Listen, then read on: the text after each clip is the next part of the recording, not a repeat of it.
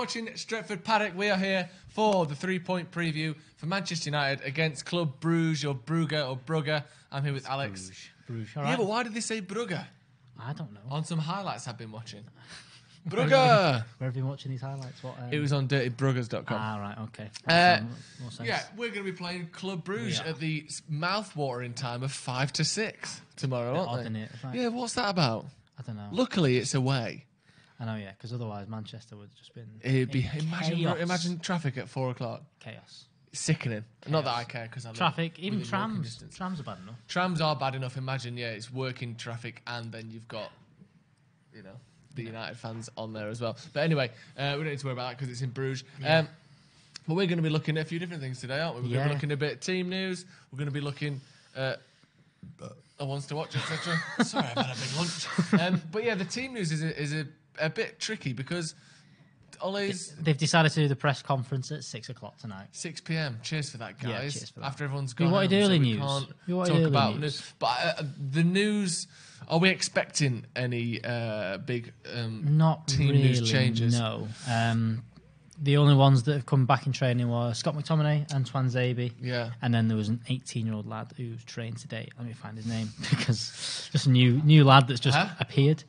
Connor Stanley. Connor Stanley, thank you. He trained today. That's a don't. proper like when you see Man United's record goal Yeah. scorer in 1890. Yeah, I don't. Connor Stanley with Connor another Stanley. goal for his I don't season's tally. he will get back in. I don't think he's going to play. I doubt he might be in play.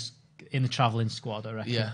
Uh, the other one, Lindelof was back in after injury. After What was ill- it? It was illness, wasn't it? So he was a bit ill. Illness.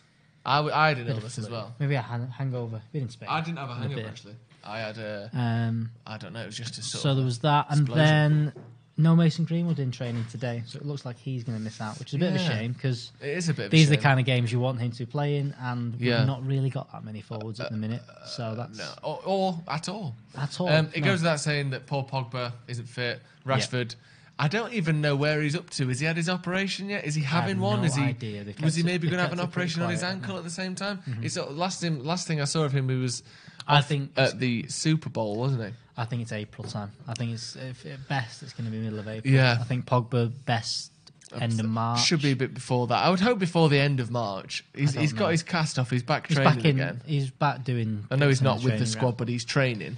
Um, and surely, if he can run and move on an ankle, it's not. It, it- it's not. It's like he's broke his arm, where you can just run, and that's no sign of how Yeah, no, fit you are. so- If he's done his ankle, running is a pretty big step towards Let's getting see. recovered, isn't it? But, um, uh, but yeah, the, again, Lindelof is back, but I want to see. Uh, I want to see McTominay coming off the bench if we can. Uh, yeah, I'd like to see him get some minutes because I want to see him back into it. Oh, sorry, mate. I've, I've I've moved over a bit. Sorry, Get your microphone over. microphone people- over here yeah, so yeah. everyone can hear what I'm saying. Yeah, Axel to start. Hopefully, I doubt he'll start, but we'll. It's good know, to see we'll him in the squad. It's good to see him in the mix because it was good having Bailly play, wasn't it? Though Bailly's mint. He I was like him. terrible on the ball, except At that start, step over at he the did. start. Mm, he did a couple in the second half as well, where he kind of just gave the ball away. yeah, but he's great though, isn't But he? he's a great defender. Whilst we're a bit dodgy still, I just want to see. Yeah, I want to see him there. I want to see him just get see in him the game. being chaos.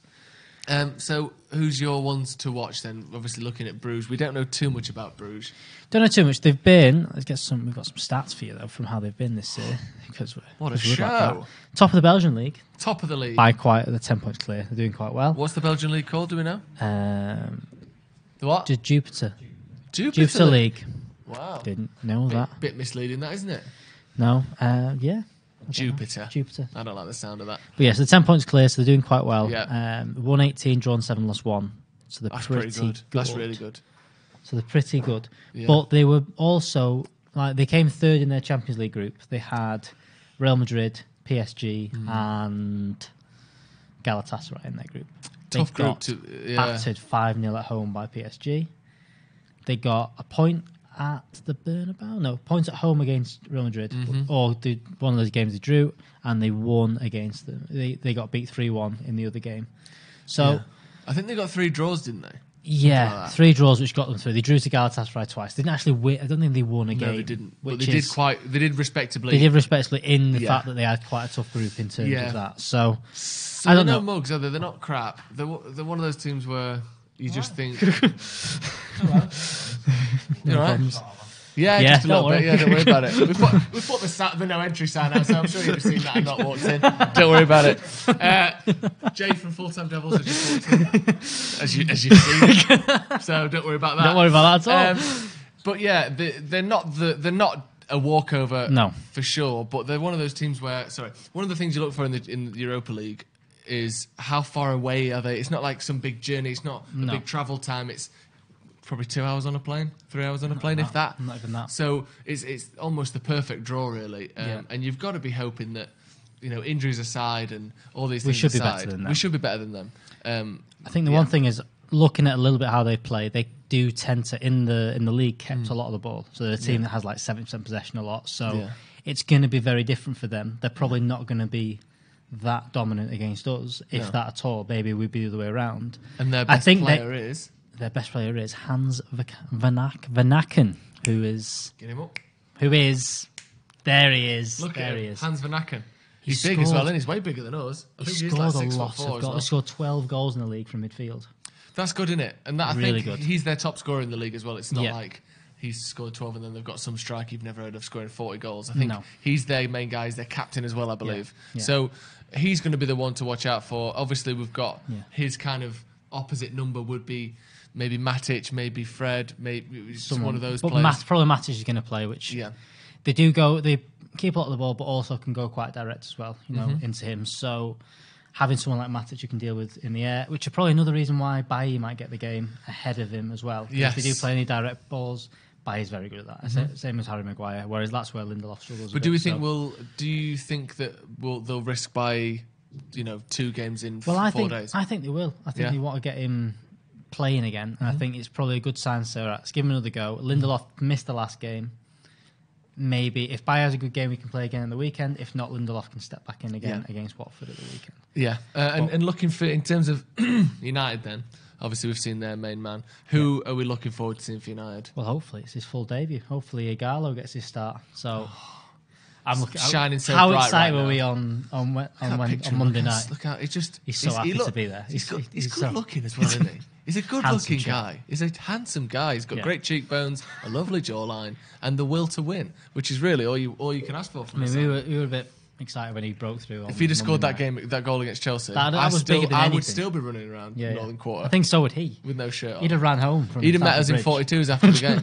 um, but yeah, it's I'd, I'd I'd really love him to get a goal. I think the Yeah. key the key with any striker at any time, but especially one where his his quality is, is being brought into question, um, i- is to get a goal Yeah. out of the way. Well, I get one. I done. didn't think he was going to start. I thought he may come on the bench again. Yeah. But I think with Mason Greenwood being Yes. not in training today, I think now he kind of has to Yeah. start. I think with, I think he's going to rest Dan James. I don't think Dan James is going to play No. too much. I think it's got to be Ighalo. It's a perfect game for him because at the end of the mm-hmm. day, it's not. Whilst it's important as well, you know, it's a two-legged game. As long as Yeah, and it's game the away tie as well. The key is getting a goal. Getting a goal. Yeah. When It's a great game to keep him. In, You throw him in full. Yeah, in, in any knockout stage with with uh, an away goals rule, the biggest, the main thing you have to do if you're the home leg first is keep Yeah. a clean sheet. Of course, yeah. Because one 0 is so much better than two one, obviously. Um, but yeah, let's have a look at our predicted lineup then. Moving Yeah. on, uh, as we see Ighalo sliding in there So nicely. we've gone for De Gea in goal. Uh, it's a toss boy. up between De Gea and Romero. Yeah. You know, we don't really know. I think Ole's probably going to say that tonight who he's going to go for. But Hmm. I think I personally think it will be Romero, but I, I know why we've gone we've with gone De with De Gea. Gea. yeah. I think that just the fact that you know, I think it's taken a little bit more. It is Hmm. a little bit more serious now, just because of. You know, we aren't. If we were in fourth spot, I think it'd be a different matter where Yeah. it could take the foot off. But no, we still need to put a stronger team we can out. Yeah. Gone for a pretty settled back four. Gone for back four because I just don't think he's going to play. I don't think he needs to play Luke Shaw in the back three. And I don't think Lindelof's going to be quite fit. I don't think he's going to try and he's going to risk him if he doesn't have to. So we've gone Wan-Bissaka, Eric Bailly, Harry Maguire, and Brandon Williams. Also, don't be surprised if you do see a Phil Jones or uh, you It know, someone like that in there as well because It wouldn't uh, surprise me to see Dalot either, at right? back, yeah, Dalot or even Luke Shaw. It's one of those where we're not really sure. Obviously, no one is sure um, how much how much they'll rotate. And I personally, I think it will be a strong lineup Yeah. We don't have too many options, Yeah. regardless of how weak you want to make the lineup. Yeah. But um, I think we have to take this competition seriously. This is our. Although, I, although, do you know what? I think it's the unless we win this, it's the league that keeps Ole's job or not. So Yeah, I think I think so. I think- reg- whilst this is an important competition, it's- we don't we don't want league. Mm. this to be make or break. You know, it was one of them in, in Mourinho's first season. It was make or break in terms Yeah. of if we don't win this, you know, he's finished sixth and Mm. we've got no Champions League football. It's a really poor season. Yeah. Whereas he won it, and it was a great season in the end. Yeah. I don't want I don't want Ole to get to that point. You want No. this you want the situation that Chelsea were in last year, where they got to that final. They they were secured third. They, they finished third, finished Yeah. fourth. They were in the Champions League that season. A trophy is just a bonus at the end Yes. it. That's what we want out Yeah. of it. You don't want the pressure of what Arsenal had. No. Let's Um, have a look at this midfield. Midfield kind of picks itself. You know, I don't think we're going to see too much rotation. I don't Yeah. think. Well, Fred- Martial playing out on the left would be a bit would be It rotation. is a little bit, but midfield wise, just in that three, I think Matic has to start. I think Mm. Yeah. because we are taking this seriously, Bruno's getting in there and Fred as well. I don't think Fred's droppable at the Yeah. minute, just how well he's playing. Um, and then we're seeing Mata I think Mata's right going to play um, just because I don't know. He just looks. I think he's been due a run of games, Yeah, and there's no point in having one one Mata on the bench for a lot of games. You know, he doesn't make. No. He's not an impact sub. He needs to start, And I think he will. where I think this is the right sort of game for him, especially with Fernandes. Him, Yeah. Fernandes and Mata on the same pitch. it's going to be good to we, see. I think we might be able to make a couple of chances. Again, I wouldn't be surprised if Fernan- Fernandes does get rested. Yeah. Then maybe Mata moves inside or Pereira plays in there as well. That Yeah. would be the kind of the swap you see. Fernandes. But I think then rested. Martial gets his run on the left. I think everyone's been kind of calling for that Mm. because he scored the good goal on Monday night, but I don't good think he goal. had the best of games. No, it was a, it was a it was a poor performance with a great goal. I think it was. A, I actually think it was a really good, one of his best Yeah. goals of the season. That because it's a difficult header, even just uh, in isolation, the technique to get the, the ball in off your head from that position is difficult. And the run he made was brilliant. I think Yeah. it was a really good goal. But he, other than that, which is stupid to say, uh, he was quite poor. Yeah, So and then Ighalo up front, which Yeah. is which he's got to play. Ighalo's got to play. But I think Martial on the left, I want to see him Yeah. doing what he's been doing. You know, I don't want him to be the focal point. I think it gives Ighalo a good chance. Yeah. So Ole has to go if we lose this tie. What tie? I don't know. I'm not wearing a tie. You're not wearing a tie? a tie, no. Don't know about that one. Uh, as It's long, not- it's just No. why it doesn't matter on that, does it? Why? Because we he, he might finish he might finish fourth this season, and then he won't go, will he? So No. if we win the FA Cup and finish fourth, you think he's going to go after this? Yeah. Um, I know it's only one game, but I'm so happy for Martial to break the goal drought before it went too far. The Wolves were lurking. Brilliant header. It was a brilliant header. Yeah. Um, and I think he still does need to improve his overall play as a striker, but that goal was an excellent really goal. good, really good. Um, Which is why I think you know these players need the run in the team as well. I don't Yeah. think he wants to drop him at the minute. Whilst there's a bit on fitness, and we need to get that. You have to give him a run in the team because you need the confidence building up, especially Yeah. people like Martial. And they've had a bit of a break as well. They're going to be able to play. Yeah, they can play two or three week. games in a week, Yeah. especially um, if we can get a couple of goals in this game and Yeah, maybe make a few substitutions to key areas. And also Fernandes, Yeah. he's not played. He's played a, a fair amount of games for Lisbon, but I think he can. You know, Someone's saying there three at the back with win backs. The, the one reason I went against that is because they go three at the back a lot, Bruges. They've done that all season. That's their most popular formation. And when we've tried to match up against teams, Sheffield United being the team, Yeah. We've really struggled. Yeah. struggled when we've gone when they've got three at the back and we go three at the back.